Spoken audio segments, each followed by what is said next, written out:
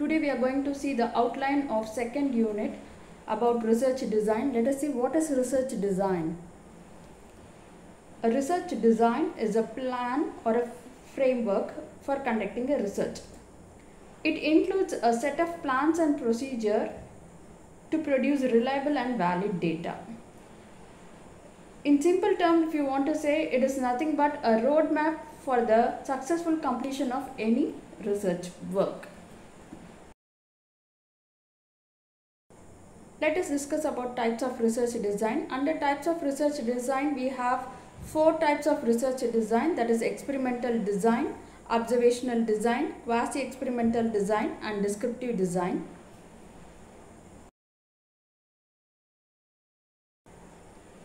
Sampling design.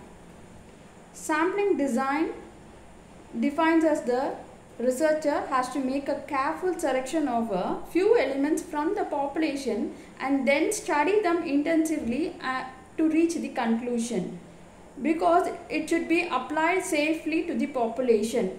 Selection of sample is very important because the researcher will be able to determine the size of the sample and the method of sampling and the test of sample only if the sample design has been applied carefully.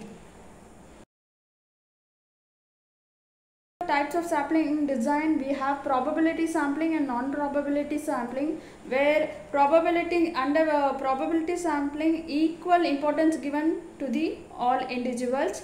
It has been classified further into simple random sampling stratified random sampling systematic sampling cluster random sampling and multi-stage random sampling.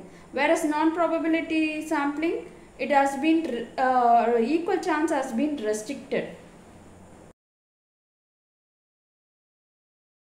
Probability sampling. As I said, probability sampling means that every member of the population has a chance of being selected. It is mainly used in quantitative research.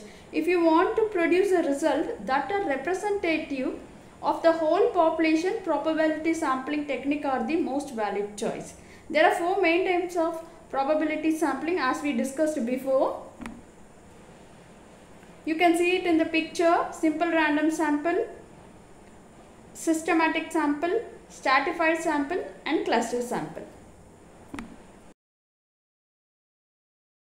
Next, non-probability sampling method.